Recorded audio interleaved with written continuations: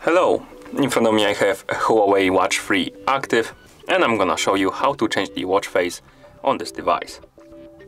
First, let's wake up the screen on our watch. To do it, simply press the crown button, like this. And now we can press and hold on the screen to open the watch face menu.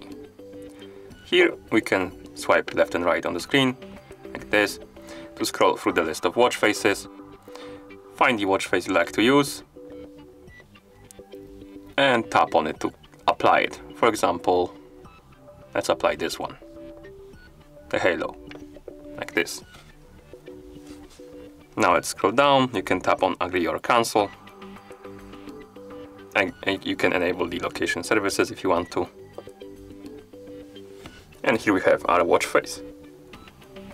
You can also customize the watch faces.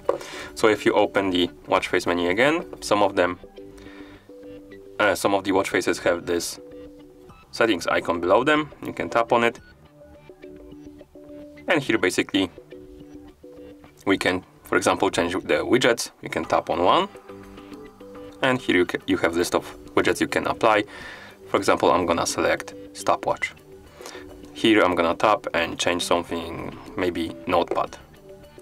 Let's tap right here and select maybe music. And we have moon phase. Let's select maybe weather info. And once you're done, simply press the crown button to confirm and apply your watch face. Here we have it. You can also change the watch face by using the phone app. So let's bring our phone right here.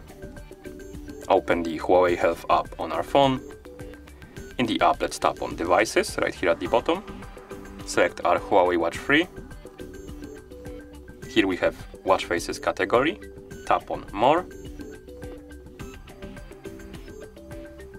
Then tap on mine right here at the top. And here we have the list of watch faces installed on our watch. Find the watch face you like and tap on it. Then tap set as default to apply it on your watch. Like this.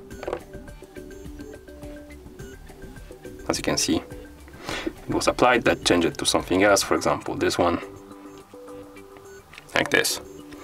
And that's how you change the watch face on this device. Thank you for watching.